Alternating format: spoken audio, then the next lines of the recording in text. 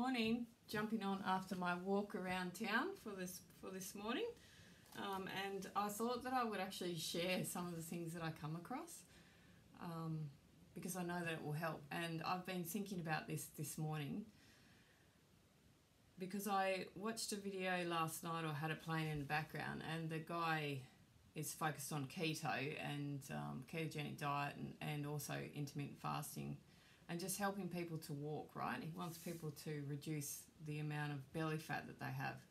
Why? Because fat around your belly is um, fat around your organs, and potentially you don't really want that much sitting around there because uh, it causes issues. And we we have seen in the past so far how that is linked to pressure on the heart, like, an, and then of course you got cardiac issues. So, um, quick video this morning's walk, I chose to leave my phone at home. I'm not someone who listens to a lot of podcasts and I don't often listen to books.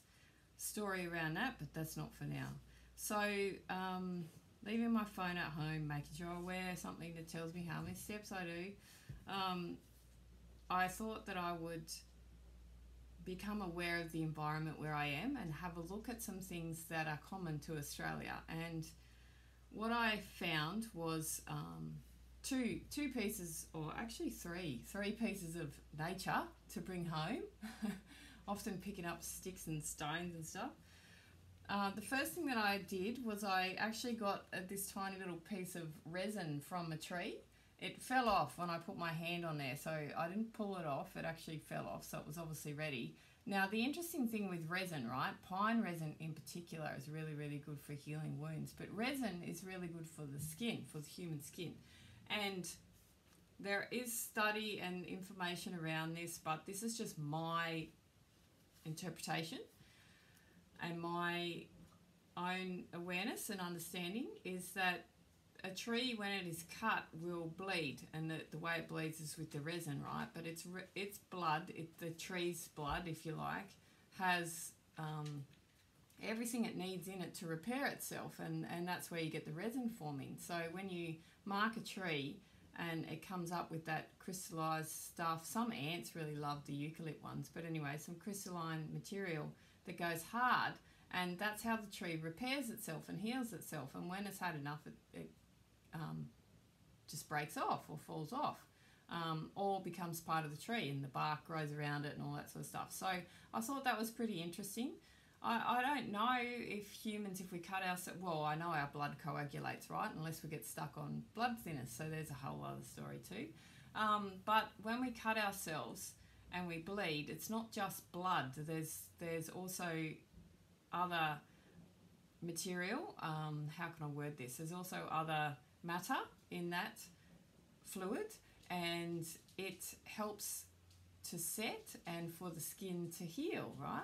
There's, there's a method to my madness here. Anyway, so little piece of resin to remind me that um, everything heals, I guess, in its own time.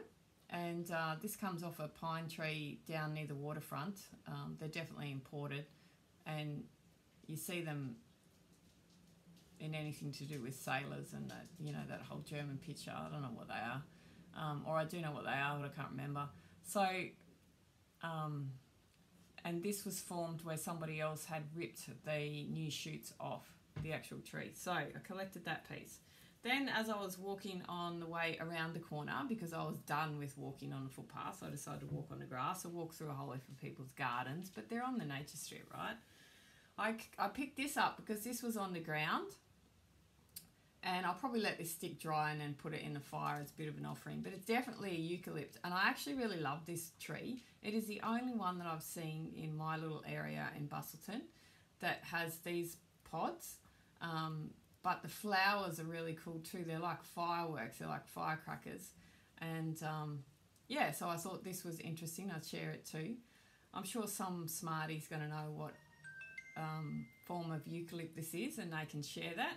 Um, but yeah, it's so eucalyptus is all across Australia, and um, we have all different species. But this is just one, right? There's another one not far from me too that I love, and I love the ones that have the bark on them that look like skin, you know, and they're just like they've got wrinkly elbows and stuff like that. And then there's salmon gums.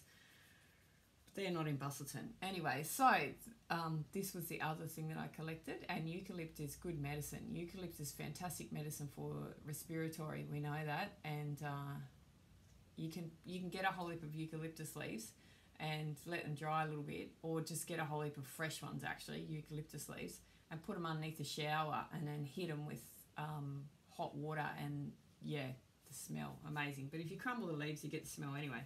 The last thing that I wanted to share with you, I wasn't going to pick it, so I didn't pick it. I waited until I found one on the ground.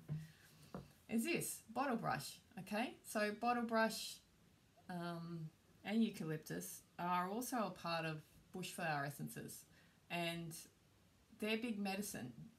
Bottle brush, if it's going to clean you out, right?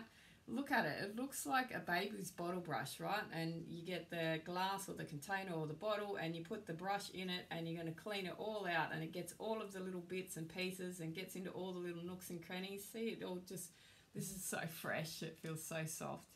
When they dry, all of their um, little flower petals fall off and yeah, anyway, it's still beautiful flower.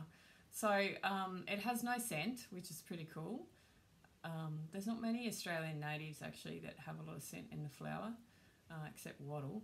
But anyway, um, birds love it. They love it for the nectar. The flowers pop out. So both these, the eucalypt that I picked up this morning and the bottle brush, I've always loved these plants. I've been fascinated by them as a little kid.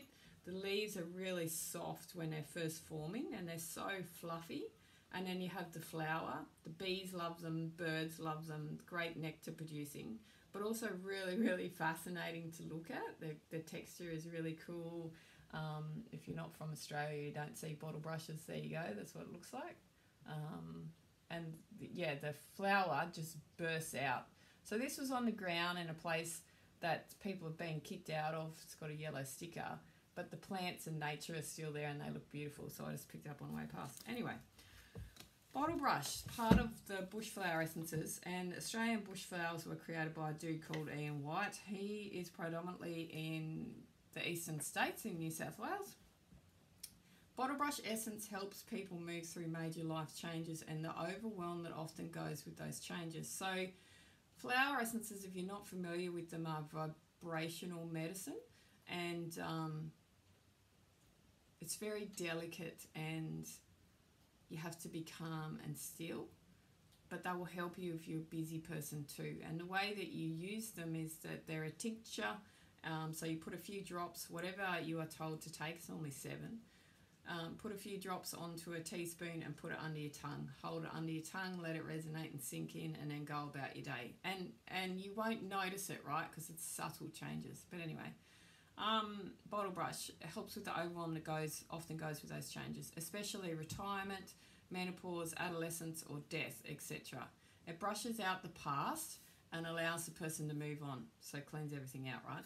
Excellent remedy for pregnant women and new mothers, apparently, who feel inadequate. It will help throughout pregnancy until after the birth and will assist with bonding between the mother and child. It is excellent for healing unresolved mother issues. Uh, what have we got? Negative conditions. So this is how it supports on the negative side. Unresolved mother issues, overwhelmed by major life changes. So our old age, adolescence, parenthood, pregnancy, approaching death. This is interesting that this is coming to me today. Positive outcome, serenity and calm, ability to cope and move on, mother-child bonding. Now I also have a um, textbook. So that's a little book that you can get off his website, Australian Bushflower Essences, and then we've got a textbook as well. Um, well, for me, it was a textbook. It was part of my training, um, naturopathic, naturo, naturopathic training. I chose to study flower essences as a sideline, you know. Um, anyway, every end is a new beginning. Begin it now. Callistemon is a genus of the Myrtaceae family, consisting of small trees and shrubs. Of the 20 odd species, 16, including Callistemon linearis, are found in New South Wales. So that is bottle brush.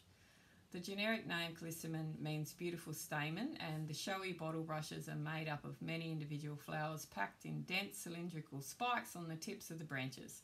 The colour lies in the numerous stamens, which are much longer than the, than the five inconspicuous petals. The bottle brushes, abundant in late spring, so it's actually early spring over here, um, are about 10 centimetres long and brilliant red, and they do come in other colours. A new growth of silky shoots begins in the apex of the flower spike, and in the following year, a new spike will form at the growing tip. So that's the soft um, leaves that I could feel, right? The bottle brush essence is for major transitions in life. It helps to give people a belief in their own ability to handle new situations. Now I'm just going to skim over this two things that I've highlighted.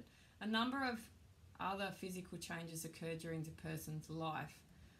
Every seven years, all our body cells are replaced, and metaphysically, every seven years up to the age of 21, another outer body is formed. So, yesterday's video, I talked about everything being energy and the external thing around us. At 21, when the astral and etheric bodies have been formed, a person has a good chance of living to old age which is why we traditionally celebrate that birthday. Well, there you go. Um, many other major turning points and transitions in life are, are there, of course, and it helps to brush away the past and allows a person to move on to new situations and experiences. To resist change is to block the flow of life.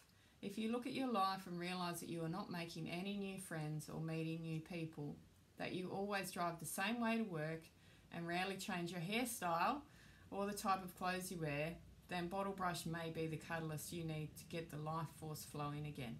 People close to death can take it twice a day or as often as remembered. The remedy is usually quick acting, like most things in Australia, I guess, pretty full on, but subtle.